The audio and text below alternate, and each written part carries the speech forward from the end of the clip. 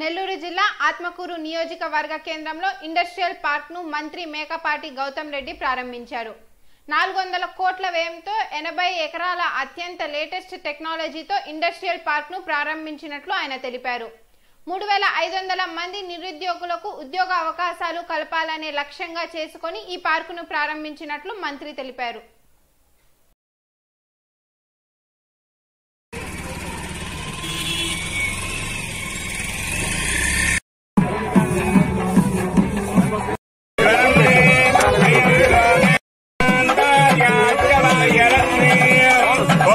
ఆత్మకూరు వచ్చి రేపు రాబోయే రోజుల్లో మన ఉగ్గు ఫ్యాక్టరీ ఏది ఉందో మన కడప ఉగ్గు ఫ్యాక్టరీ ఏది ఉందో దానికి బిట్వీన్ మన కొత్తగా మన ఎలక్ట్రానిక్ సెక్టర్ ఏది ఉందో ఈ మూడు ప్రాజెక్ట్స్ వల్ల తప్పనిసరిగా ఈ సైడ్ అంతా కూడా ఏదో మనకి బద్వేలు కానీ నెల్లూరు సైడ్ కానీ ఇటు సైడ్ అంతా కూడా ఒక కారిడోర్ ఇండస్ట్రియల్ కారిడోర్ లాగా డెవలప్ కాబోతుంది అనమాట సో రాబోయే రోజుల్లో తప్పనిసరిగా ఎప్పుడు చూడనంత అభివృద్ధి తప్పనిసరిగా ఈ యొక్క ఈ యొక్క హైవే మీద రాబోతుంది. దాదాపు మూడు వేల ఐదు వందల ఉద్యోగాలు క్రియేషన్ జాబ్ క్రియేషన్ జరగబోతుంది అలాగే దీంతో పాటు ఇన్వెస్ట్మెంట్ కూడా దాదాపు నాలుగు వందల కోట్ల నుంచి ఐదు వందల కోట్ల దాకా ఇన్వెస్ట్మెంట్ ఫ్యాక్టరీస్ రాబోతున్నాయి. సో అన్ని విధాలుగా ఇక్కడ మనకి అభివృద్ధి రాబోతుంది. అలాగే ముఖ్యంగా మా ఏపీఐసి డిపార్ట్మెంట్కి నేను పర్సనల్ థ్యాంక్స్ చెప్పాలి. ఎందుకంటే చాలా తొందరగానే ఈ ప్రాజెక్ట్ని కాన్సెప్ట్ నుంచి ఈ యొక్క ఇంప్లిమెంటేషన్ స్టేజ్ తీసుకురా వచ్చినందుకు.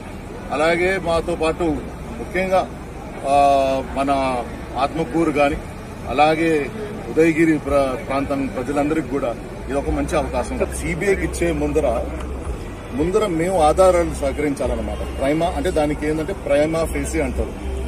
ఆ ఎవిడెన్స్ ఈ రోజు మాకు ఉంది కాబట్టి మేము ఆ ఎవిడెన్స్ మేము సిబిఐకి ఎందుకంటే ఈ ఎవిడెన్స్లో ఖచ్చితంగా ఇక్కడ అవినీతి జరిగిందనేది మాత్రం స్పష్టంగా కనబడుతుంది కాబట్టి ఈ రోజు మేము ఇన్వెస్టిగేషన్ చేసే బదులు కన్నా ఎందుకంటే మళ్ళా వాళ్ళు ఏదైనా నిందలేస్తారు కాబట్టి మేము సిబిఐకి ఇచ్చి థర్డ్ పార్టీకి ఇచ్చి తప్పనిసరి అది ఒక ట్రాన్స్పరెన్సీగా చేయాలనుకుంటున్నాం కాబట్టి మాకైతే మాత్రం చాలా అంటే ఒక విధంగా చెప్పాలంటే ఒక మా- ఈ యొక్క గత ఐదు సంవత్సరాలు తెలుగుదేశం రాష్ట్ర ప్రజలు సారీ తెలుగుదేశం ప్రభుత్వం ఏది చేసిందో ప్రతి ఒక్కరు కూడా ప్రజలందరూ కూడా గుర్తించే మొన్న ఆ ఎలక్షన్ రిజల్ట్ ఇవ్వడం జరిగిందనమాట అవినీతి అనేది ఎప్పుడు లేని అవినీతి. మన ఐదు ఐదు సంవత్సరాలు మన తెలుగు రాష్ట్ర ప్రజలు చూశారు కాబట్టి ఈ రోజు తెలుగుదేశం ప్రభుత్వం ఈ గతి పడిందనమాట రేపు రాబోయే రోజుల్లో తప్పనిసరిగా ఇన్వెస్టిగేషన్స్ అనేది మాత్రం అందరూ ఎవరు అనేది కూడా అందరూ కూడా పేర్లు బయటపడతారు.